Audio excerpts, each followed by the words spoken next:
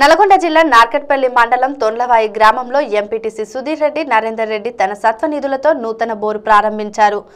Bore వేయించి నీటి సమస్యలకు పరిష్కారం చూపారు. ఈ కార్యక్రమంలో కొండయ్య నర్సిరెడ్డి సైదులు జైపాల్ కమలాకర్ తదితరులు పాల్గొన్నారు.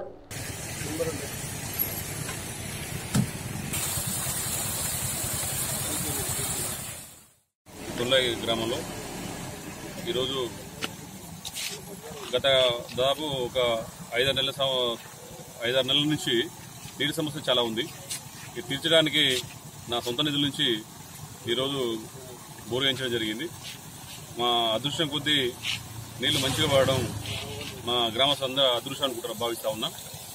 ఇదే విధంగా మా నా సొంత గ్రామం తొన్లాయి ఇంకా ముందు తీసుకుపోతానని హామీ ఇస్తూ మరి అదేవిధంగా తెలంగాణ ప్రభుత్వం వచ్చిన తర్వాత మన ముఖ్యమంత్రి కేసీఆర్ కూడా అంటే కింది స్థాయి నుంచి మంచి మంచి సంక్షేమ పథకాలు ఏర్పాటు చేస్తూ అందరికీ బడుగు బలహీన వర్గాలకు సాయం చేస్తూ సాయం చేస్తున్నాడు కాబట్టి వారికి మనం వినట్టు ఉండాలని అనుకుంటూ రేపు జరగబోయే సెప్టెంబర్ రెండు ప్రగతి నివేదన సభకు మన గ్రామం నుంచి భారీ ఎత్తున తరలి వెళ్ళాలని పిలుపునిస్తూ మరి ప్రత్యేకంగా మన ఎమ్మెల్యే వీరేష్